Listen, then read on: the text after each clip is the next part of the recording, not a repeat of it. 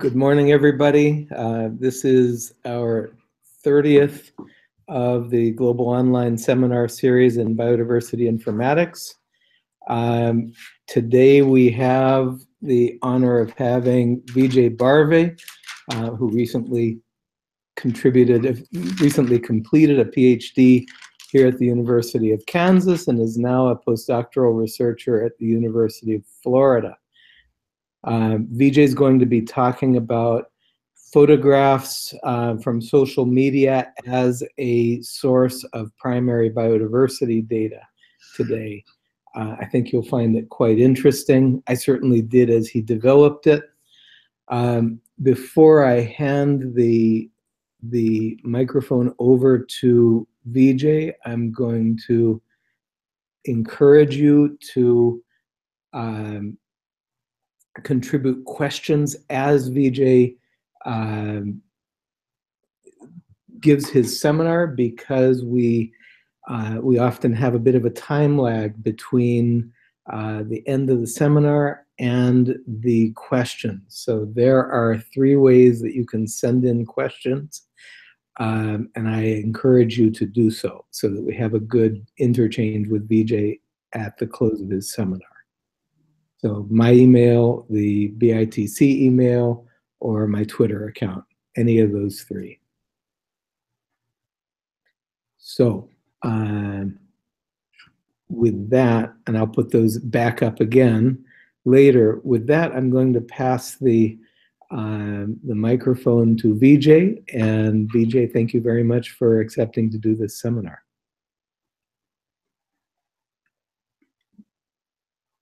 Thank you so much, Town. And uh, hello, everybody. Uh, as as Town briefly introduced, uh, I'm I'm Vijay, and uh, I have been working with biodiversity information for quite some time, and uh, I'm uh, going to present some of my work with social media images, bringing into uh, biodiversity data. So I'll go ahead and share my screen and start the presentation here.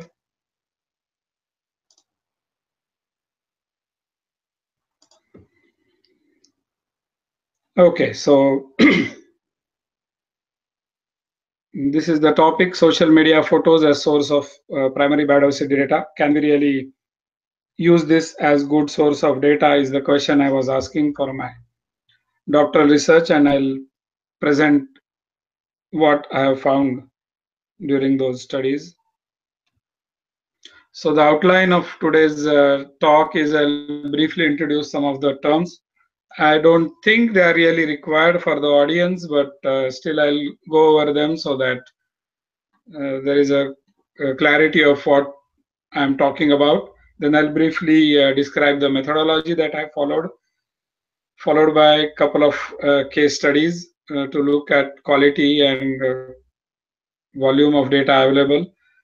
And then I'll briefly tell about the tools I developed for these during the course, which are available, and brief conclusions.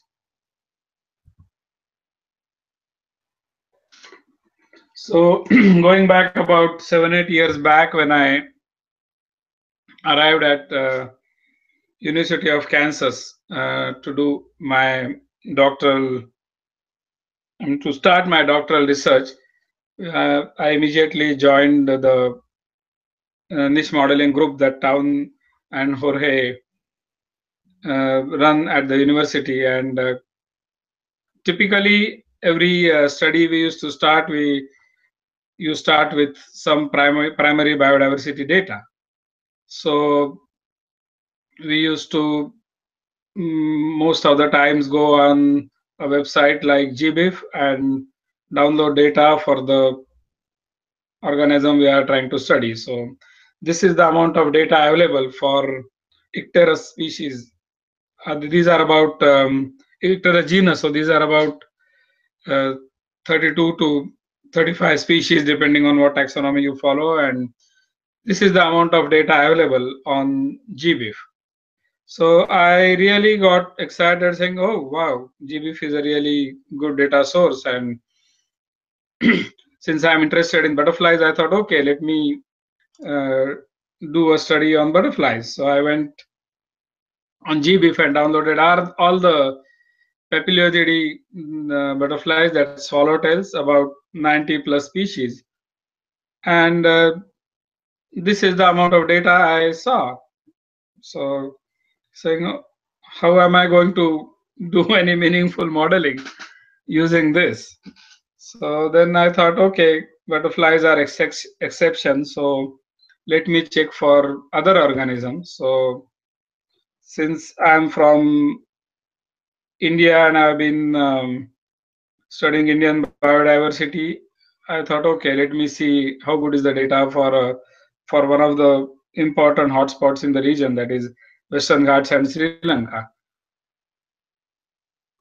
I was kind of disappointed. There is not much data on GBIF for that. And then I started looking at okay, what is the case with other biodiversity hotspots? So if we look at the uh, GBIF occurrence data on the world level, we see most of the hotspots do have good amount of data, but a lot of them there are major data gaps. So this is a this is a big problem if you are trying to uh, do any conservation efforts in these regions. You don't really have uh, biodiversity occurrence data available. So then I started looking at okay, what exactly is happening? I see a lot of biodiversity. There are a lot of people who are documenting it. Then why it is not being available? So to basically look at what exactly is primary biodiversity records or primary biodiversity data. So we basically need to have what, so what organism are we studying, where, what is the location on of this particular record, when it was recorded, date and time basically for seasonality and who recorded it so that we can get back and uh, verify if we need any more details. So these are the main four components of any uh, diversity record.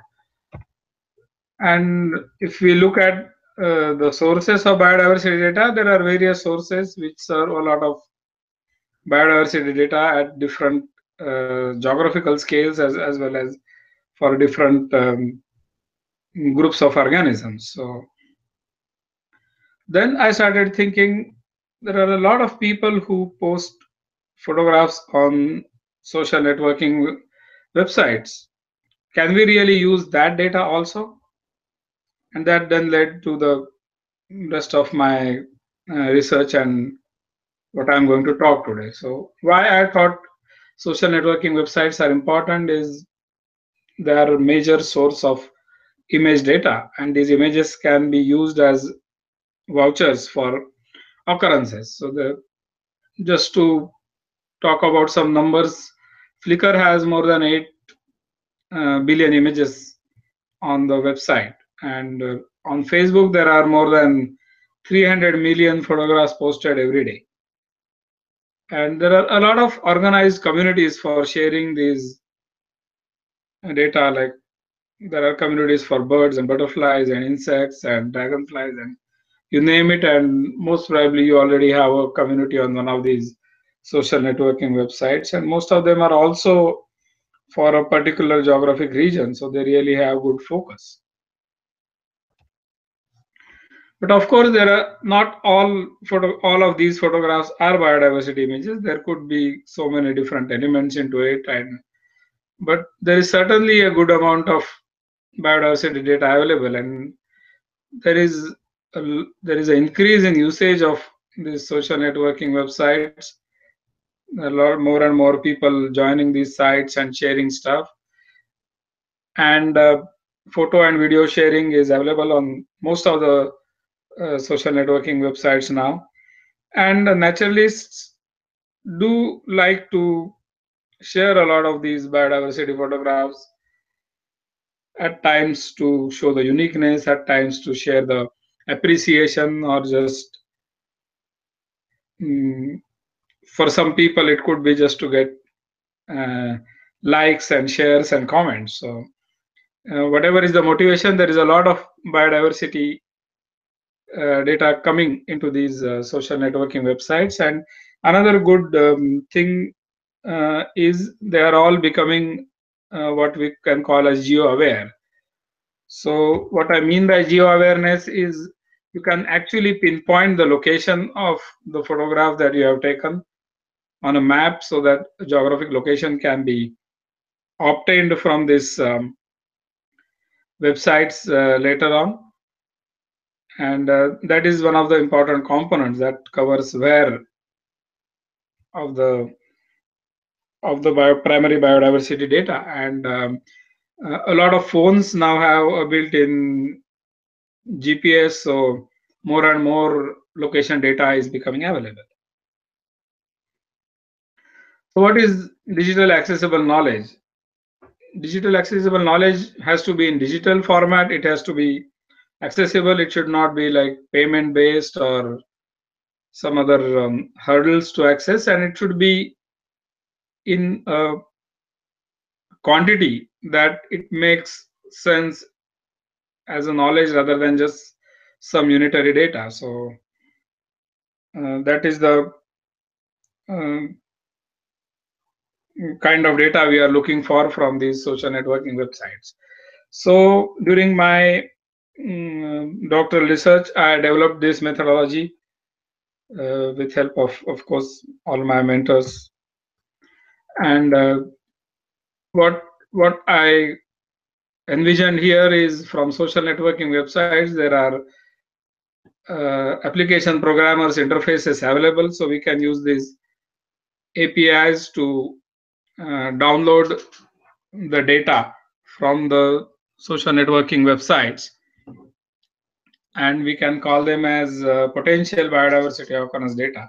And then we can uh, verify that in some automated fashion using data action schemas with some standards and databases, as well as we probably have to do some manual quality control mechanisms before we really mm, convert them into biodiversity occurrence records. And then once we have these data, like any other biodiversity occurrence data, we can use it in different explorations and visualizations. We can directly use some of them in scientific publications or serve as uh, mm, data records using uh, a standard um, like Darwin Core. So to extract these data, uh, as I mentioned, application programmers programming interface can be used. So this is um, a method to um, quickly uh, download chunks of data using uh, certain queries. So on on the screen is an example of what a typically a typical um, API call looks like. So it basically tells um, I want data from uh, Flickr photo search. Vijay, you Uh, need to share your yes. screen. It's not shared at the moment. Oh, okay.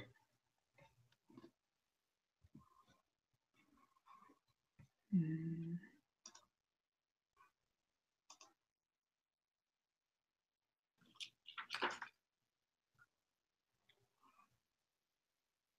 Mm, can you see it now?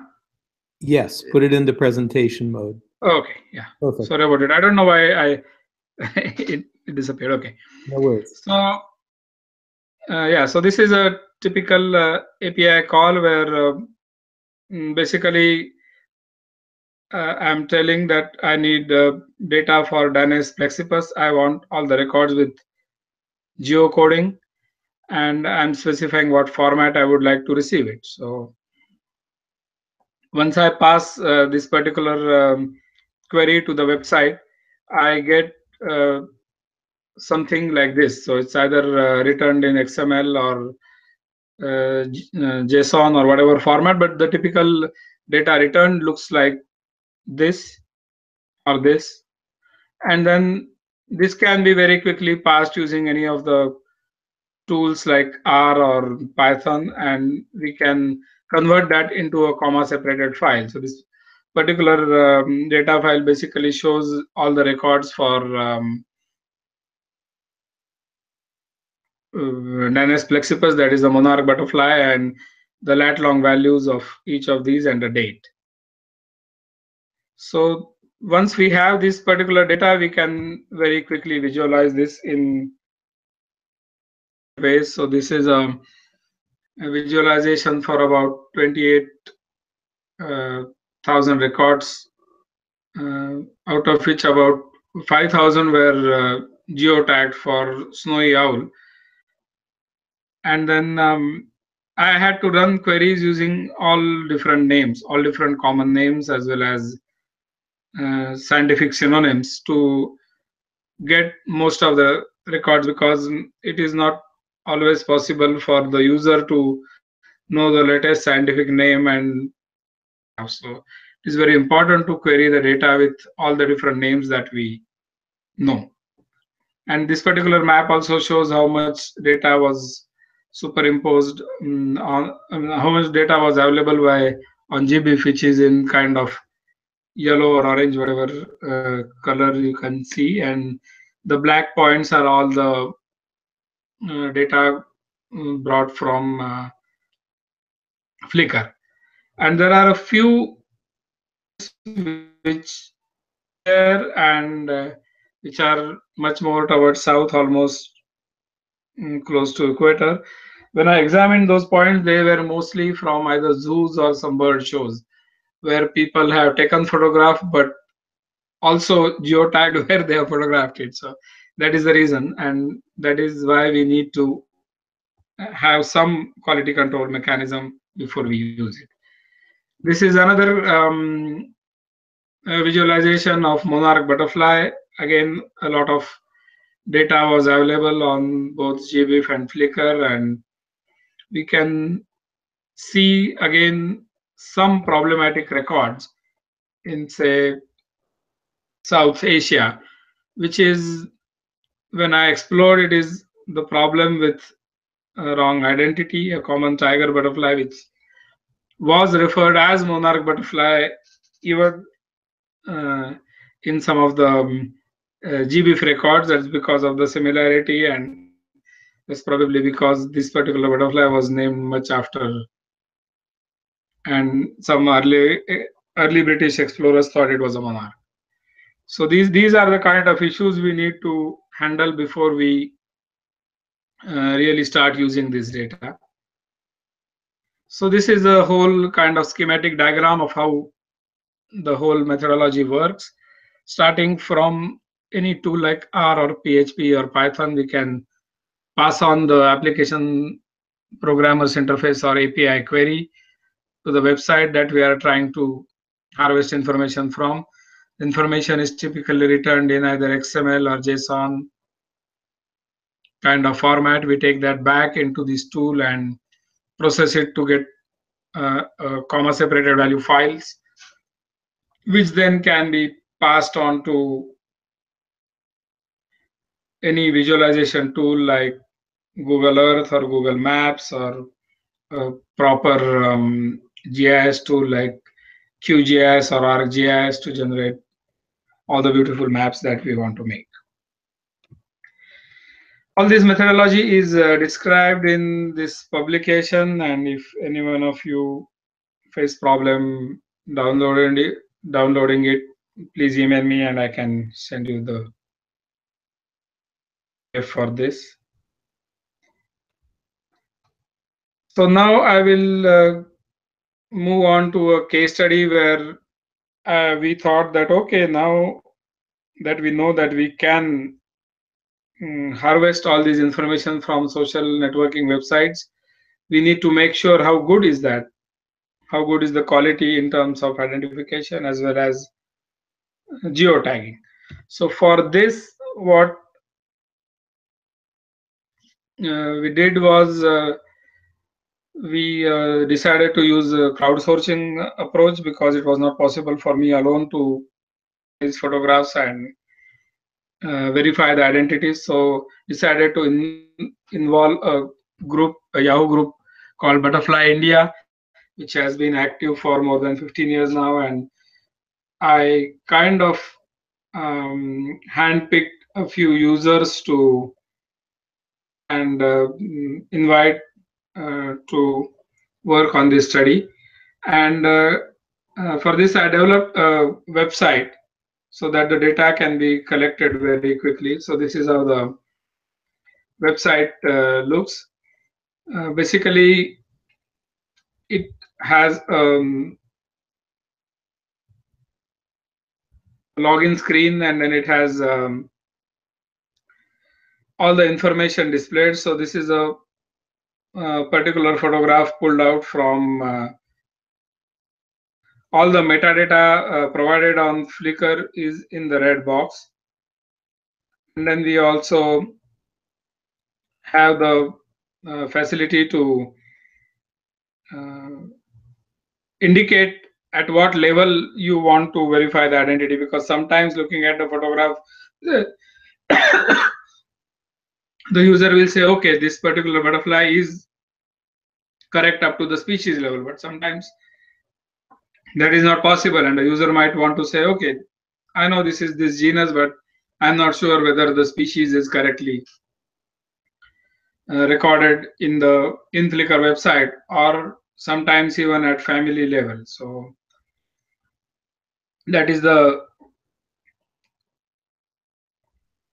uh, that is the kind of level you uh, the user can uh, give the feedback. So overall uh, uh, 12 users actually landed up participating in this study. It was a good study good mix of what i call a scientist versus citizens so my definition for this study a scientist is anyone who has published a, a research paper on butterflies. And a citizen scientist is anyone who has not done that yet but i know that from my past experience that this person is very active on this group and knows a lot about butterflies. So this website you know, this study uh, the website was up for about three weeks and during that three weeks, uh, we collected uh, 3,000 plus responses pertaining to 1,800 different uh, Flickr photographs and 43 different species. So now let us look at what what kind of mm, information we collected. So looking at how accurate uh, were the identifications versus if the photographs photograph was geotagged or not. So we found that it doesn't really make a difference in major difference in accuracy if the photograph is uh, geotagged or not. Uh, we uh, kind of thought that geotagging and uh, providing scientific name as a measure of seriousness of the particular Flickr user. And uh, we also looked at if uh, if the user uh, provides only common name versus he provides uh, he or she provides scientific name. Does that make a difference? So here there was a major difference. There was uh, three times less possibility of committing a mistake in identification if the user has provided a scientific name which in other words we can say that the user knows what he or she is talking about. Uh, just putting those earlier two graphs together, we can see that photograph is posted only with common name and not geotag. It has higher possibility of incorrect identification, but if it is with scientific name, it uh, certainly has much lower possibility of um, incorrect identifications. Now looking at uh, species level, how good or bad the identifications were in this graph the red uh, sorry the the dark black lines show that that much was the inaccuracies. So the gray color if in front of any species the whole line is gray that means there were no incorrect uh, identifications found. So here we can see between 0 to 50 percent of inaccuracies in uh, different species.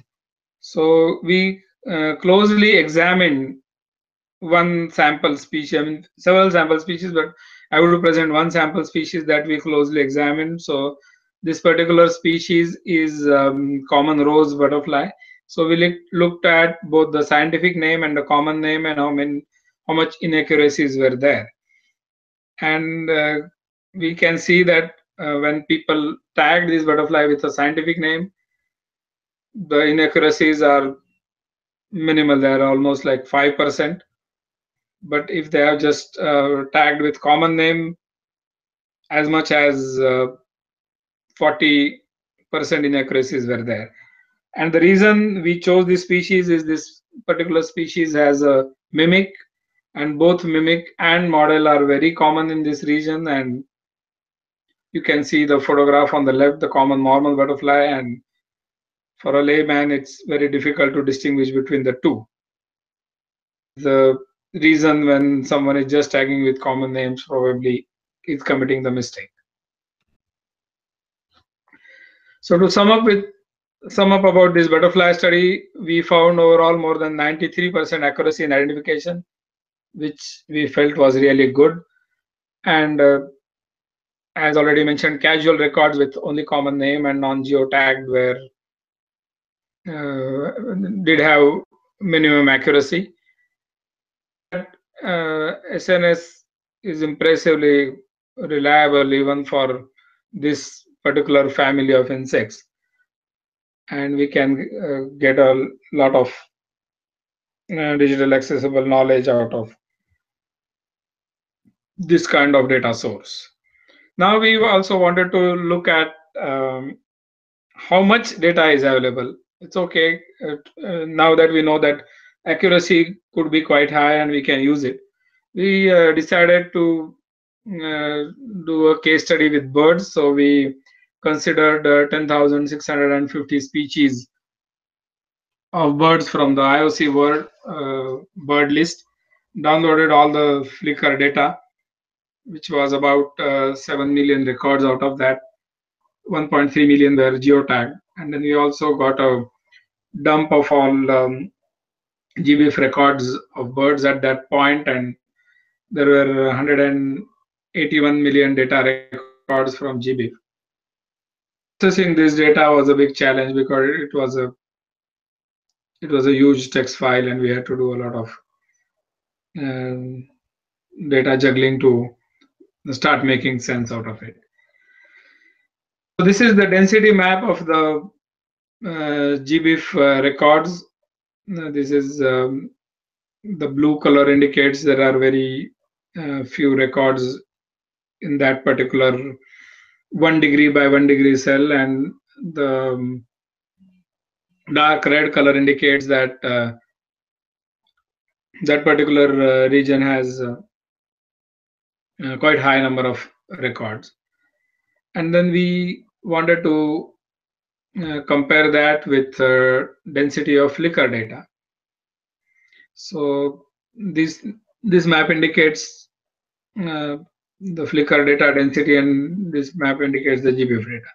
So what we did was we superimposed it to basically compare where we have uh, Flickr only data, where we have GBIF only data, and where we have data for both. So this particular map uh, shows that the blue color is uh, where uh, Flickr only data is and uh, the light blue teal color is for uh, regions where data from both sources was available. So we proceeded further to kind of explore certain regions and looked at South America and Indian subcontinent where not much uh, GBIF data uh, was available, but we were uh, kind of surprised to see in certain pixels there was Flickr data available where GBIF data was not available. So this basically shows the potential of this data source uh, to uh, augment uh, the data what uh, GBIF already serves. Uh, looking at the um, uh, temporal angle, uh, we see in GBIF data there is a bias towards uh, summer months of um, kind of spring and summer months of uh, northern hemisphere. But when we look at Flickr data, that bias is there, but it also fills in in the remaining uh, time period, which is good, which will give us better seasonal and temporal coverage. So this is the um, chronogram showing both uh, GBIF and Flickr data, which basically shows us um, the rise and uh, again a little bit of um, fall of how much data that uh, Flickr has been accumulating. Probably the reason is Flickr lost its um, popularity after some other networks like Facebook became more popular. So probably now there is less amount of data coming in, but we can certainly uh, utilize a lot of data from last decade or so. When we uh, decided to compare um, these um, GBIF data and uh, the Flickr data in a, a little more um, detailed statistical way. So what we did was we uh, broke down the GBIF data into 139 uh, uh, sets of, um, sorry, 138 sets of um, 1.3 million records uh, because we had 1.3 million Flickr records so that we thought all these 139 sets will be uh, then comparable. And what we did was we um, compared them for unique and uh, rare species in each of the uh, sets. And we also uh, looked at unique and rare pixel coverages in these uh, uh, 129 data sets basically to uh, kind of get a fair idea of if the data set is of the same size how much uh, value or how much uniqueness does each of these uh, data set has to offer. So when we plotted a unique number of species in each of these data sets compared to the rest of uh, data sets all the gbif 138 uh, data sets uh, were falling between 0 to 3 unique uh, species being available in them. But Flickr had a very high number of um, unique species that is about 411 so basically what we what we think is uh, people are enthusiastic about uh, sharing something unique on Flickr if they photograph, but that data may not get captured in uh, the usual data sources uh, which uh, GBIF harvests. So uh, the the graph shows the uh, the rare uh, species and in in Flickr we had like 1,336 uh, compared to 266 to 239 in each of the GBIF uh, data sets. So to sum up this particular uh, study, uh, there is a considerable potential to augment um, uh, data from these social networking websites. Uh, this data was more balanced in terms of seasonality it could be um, more effective for certain regions where currently there is not much data available. And uh, it appears that there is a better re representation of uh, rare uh, species and uh, poorly sampled pixels in um, data source like uh, Flickr. But definitely there is a deeper exploration needed for quality. Uh, now moving to a few tools that developing during this process. So uh, there is a R package already developed, which is not available on CRAN yet, but it's uh, still under development. I'm still trying to uh, test it more rigorously before I post it on CRAN, but it has facility to download Flickr data using any name or a list of names.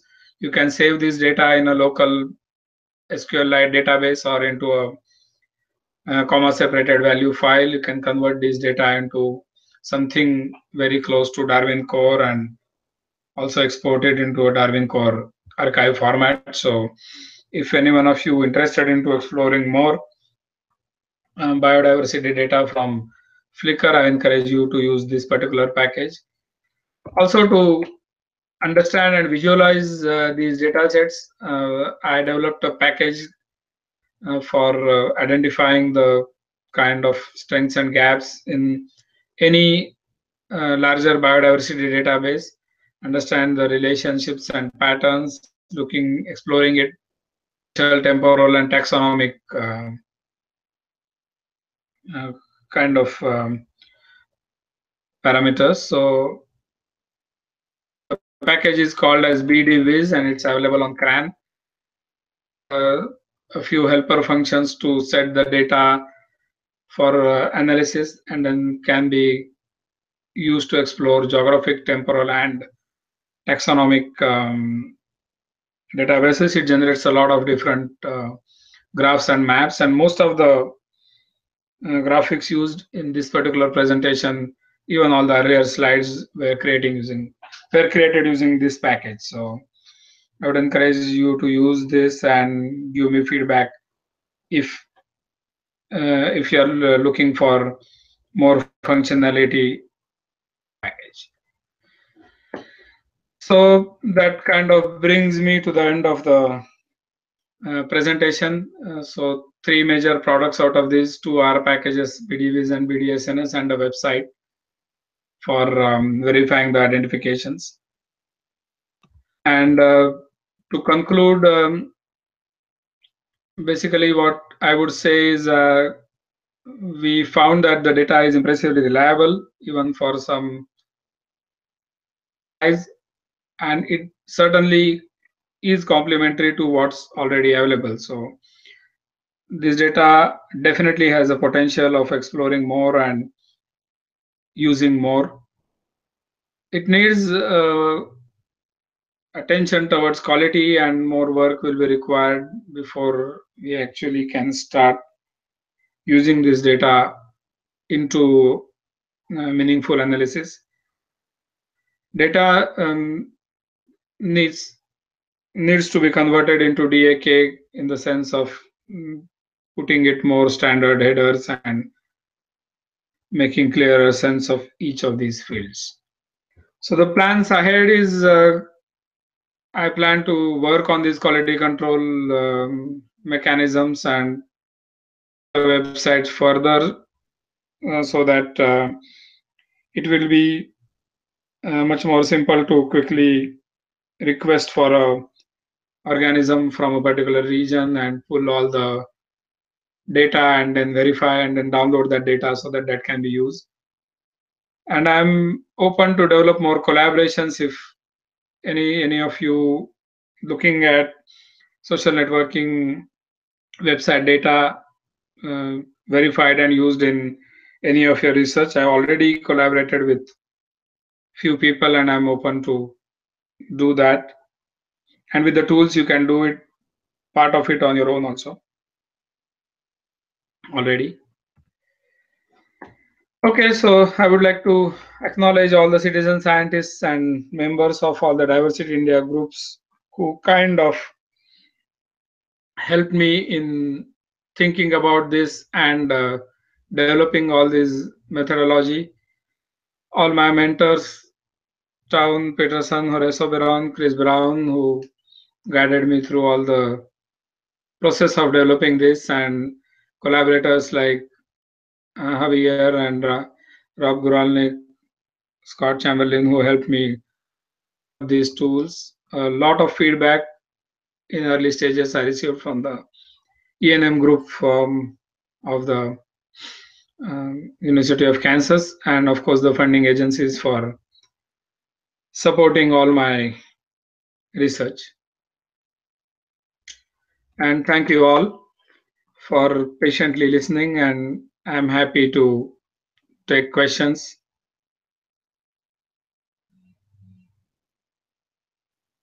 Thank you, Vijay.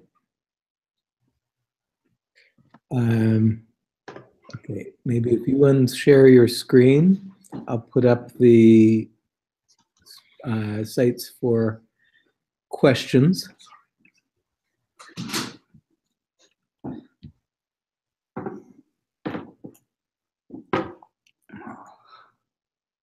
Let's see, everybody wants to see my email. There we go. Um, so again, everybody, those are addresses for questions. A couple different email addresses and a Twitter feed. Um, Vijay, how do you see the relationship between what you've done with with the feed of photos from social networking sites versus um, maybe other sources of photos such as um, systematically acquired um, sets of photographs of labels from natural history museums?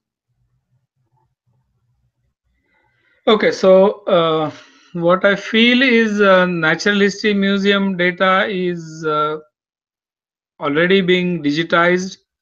There are a lot of different projects and there are a lot of different networks which are already working like VertNet to get all these data into uh, uh, into digital accessible knowledge through VertNet and GBIF and all these websites. But there is not much, there are not much efforts being done to really go out and explore. So this is more exploratory where I go out and see, okay, how I have this much data from say GBIF, but how much is available on other networks? And this is really very important for the countries where the collections are either not housed in the countries for historical reasons or they are not yet being digitized and made available into digital accessible knowledge for those regions i feel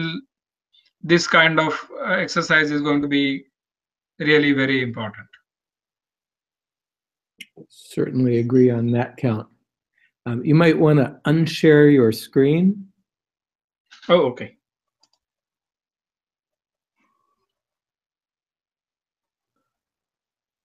There you go. Yeah, I I can see. Um, I mean, not not to walk away from the the social networking sites, but I can see a lot of use for um, kind of the the other tools that you have developed, um, perhaps less uniquely, but um, imagine sweep through a an undigitized collection and just take picture of specimen, picture of label, picture of specimen, picture of label, and then put those photos up for uh, citizen scientists to to join in with the digital capture. And again, I know there are some platforms already in existence for that, um, but that I think is going to be a very crucial need in the community as more and more projects get going. Yes, that is right. I think uh, in some sense, notes from nature is filling that gap of uh, involving a lot of citizen scientists into transcribing the labels from herbaria and uh, other collections. I have a couple questions this, um, from Paula Zermoglio in, in Argentina. Uh, and she asks, first question, which taxa do you think are more likely to render better results using Flickr as a discovery tool? And do you think it's region dependent? I'll give you the second question in a moment, but uh, maybe chew on that for a moment. Okay, so you want me to answer this first? Yeah, go ahead. Sorry. Okay, so um, uh, hello, Paula. So what I feel is um, all the groups where um, uh, the the organisms are more showy, like butterflies, dragonflies, uh, certain groups of bees and wasps. I always see a lot of them being photographed and uh, uh, shared on Flickr. Surprisingly, there is a huge amount of data available for moths so basically anything that uh, can quickly be uh, verified using the photograph and is more interesting for a layperson to photograph, we are going to find a lot of uh, data on Flickr.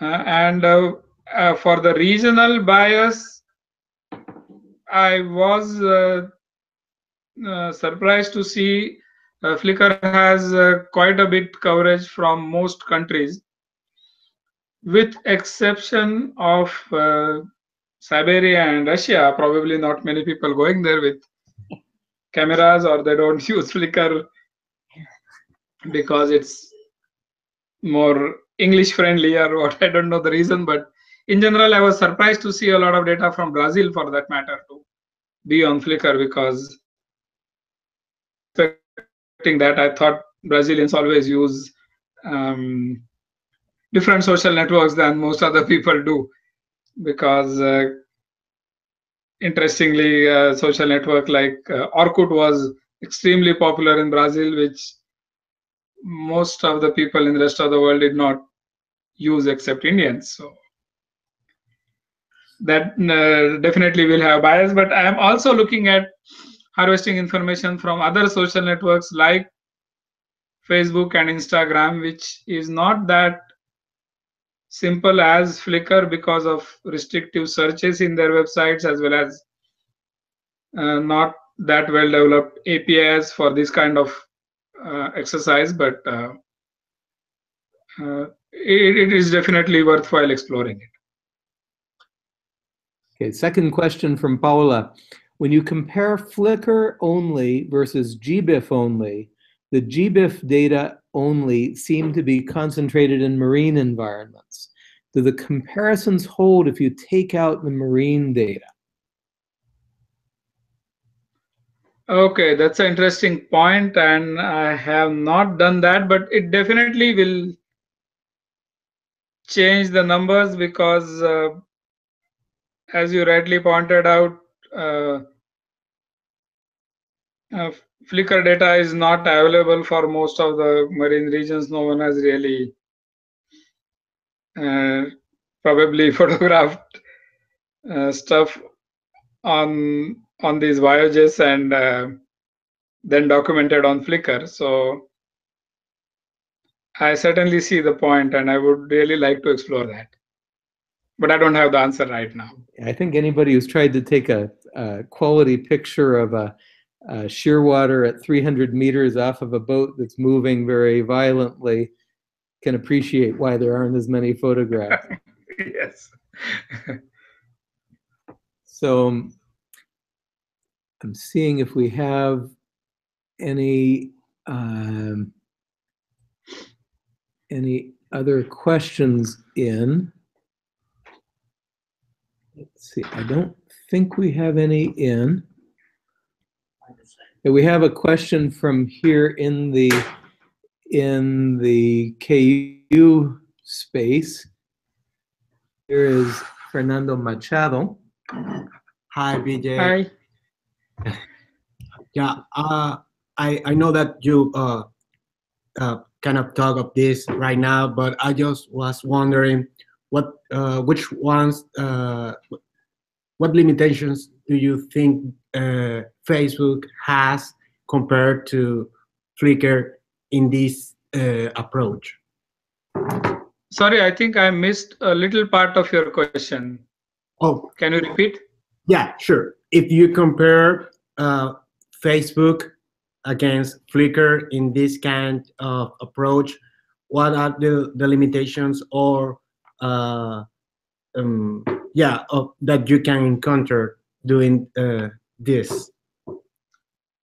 Okay, so uh, the main problem I faced with exploring Facebook is Facebook does not allow uh, queries being run in general. So you have to run queries on a particular uh, group or community where also, uh, to the best of my knowledge, currently you cannot use APIs.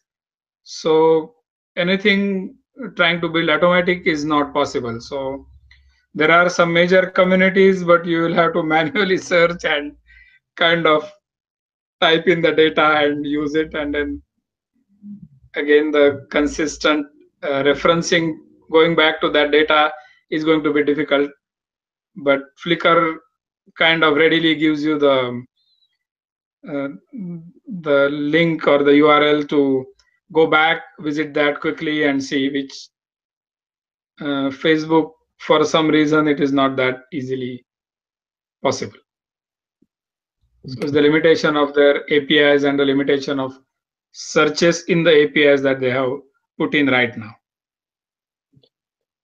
Got one more question for you from uh, the room here at KU. Uh, Ed Kump is asking regarding the comparison of number of unique species between GBIF subsets and Flickr. There were 1,400 plus unique species amongst the 1.3 million Flickr records. How many of these identifications were independently verified? How many distinct species were found in Flickr, and do you have the number of species in GBIF subsets? Okay, I don't have the numbers in front of me right now, but uh, the unique uh, species in Flickr, additional species were 411. And uh, we have not verified all of them, definitely. I kind of checked a few of them, but all of them are not verified. So as I mentioned consistently throughout, there needs to be much more work in terms of verifying quality of these records. I think one one point that that I'll, I'll, say we can make because I guess I'm a co-author on that. Yes, definitely. You should add in if you have any. One point that we can make is that, uh, in one sense, that particular comparison is unfair because mm -hmm. a lot of the uh, rare bird alert uh, groups use Flickr as a platform. Oh, and so okay. Flickr okay. becomes essentially a, a center for the best of those unique photographs. That's not okay. That helps. Mm, Great. That provides a lot of information for that. Okay.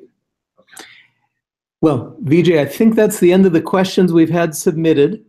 Okay. And so I'll give you a big thank you for your, your time and effort this morning. Um, if if we could have applause, we would have it coming from all corners of the earth, but but you'll have to just imagine it. Um, everybody, for next month, uh, I believe April 5th, we have Richard Pearson uh, giving a presentation, and and Richard's been one of the leaders in the initial and and ongoing development of ecological niche modeling. So uh, I recommend that to you highly. We'll announce the details very shortly. Um, Vijay, once again, thank you for your time and your presentation. Thank you for the opportunity.